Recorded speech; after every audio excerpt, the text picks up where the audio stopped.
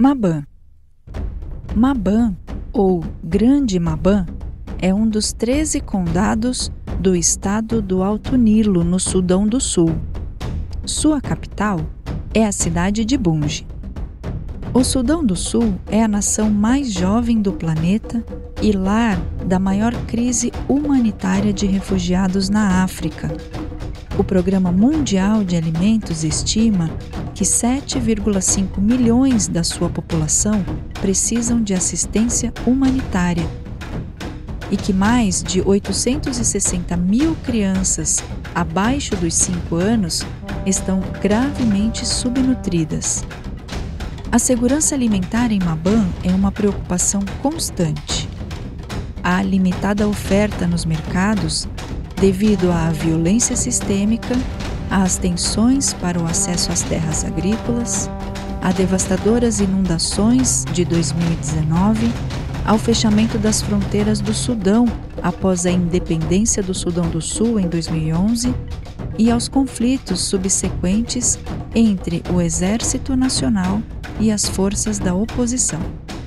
Educação e alfabetização são os maiores desafios desse país. Em Maban, estes problemas são intensificados pela sua localização remota e isolada. De acordo com a Acnur, metade da população não recebe educação e o número de analfabetos é maior entre as mulheres do que entre os homens. Nos últimos tempos, o condado de Maban tornou-se mais conhecido por seus quatro campos de refugiados. Juntos, Caia, Batil, Gendraça e Douro acolhem mais de 140 mil pessoas que fugiram principalmente dos conflitos armados no estado fronteiriço do Nilo Azul e do Cordofão do Sul, ambos no vizinho Sudão. Douro foi o primeiro campo de refugiados, aberto em 2011 e é o mais superlotado.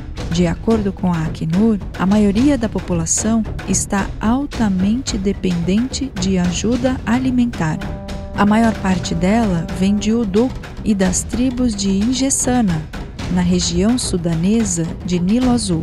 No Campo de Douro, há somente sete escolas para uma população de mais de 50 mil pessoas. Atualmente, cerca de 60% da sua população adulta está desempregada. Batil, um lugar preocupantemente instável e precário, é o segundo maior campo em Maban.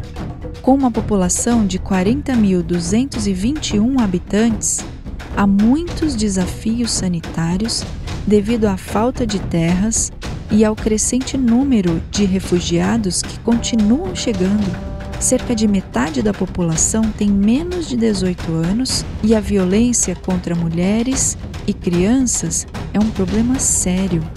O casamento de crianças e a violência intercomunal são comuns. O mais novo campo de refugiados em Maban é Caia, lar de quase 22 mil refugiados. Ali, a maioria deles não possui o suficiente para comer e o acesso à água potável é limitado.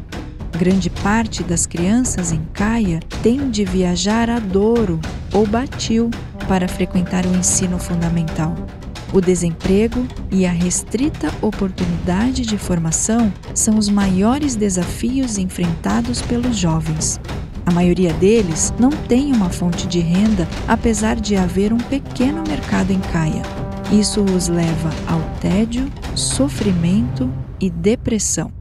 São quase 200 mil pessoas com necessidades humanitárias significativas em Maban, pois é grande o número de refugiados e deslocados internos numa comunidade local também já vulnerável. Os conflitos entre os grupos têm sido frequentes, prejudicando o trabalho das organizações de ajuda internacional. É difícil descrever Maban. A qualquer dia pode haver ali grandes altos e baixos, milagres diários misturados com sofrimento e dor. A escala das necessidades pode ser esmagadora. Contudo, há uma constância nisso tudo. A criatividade, dignidade e absoluta resiliência dos que ali vivem. Senhor, nós nos achegamos confiadamente ao trono da graça, a fim de que Mabã receba misericórdia e ache graça para socorro em ocasião oportuna. Tapamos o muro e nos colocamos na brecha a favor da terra de Mabã, para que o Senhor não a destrua. Como guardas sobre os muros, jamais nos calaremos dia e noite e não descansaremos até que o Senhor ponha Mabã por objeto de louvor na terra.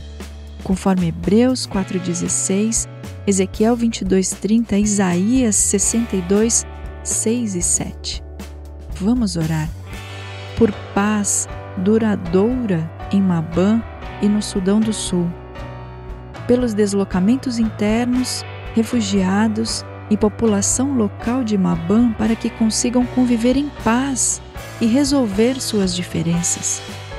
Por segurança e pelo trabalho das organizações humanitárias cuja atuação tem sido essencial em Mabã. Para que o Senhor Jesus continue a se manifestar e transformar vidas nos grupos étnicos de Mabã. Clamamos por obreiros que queiram brilhar a glória de Deus entre os refugiados em Mabã, para que 10% da população de Mabã e dos refugiados conheçam Jesus nos próximos 10 anos.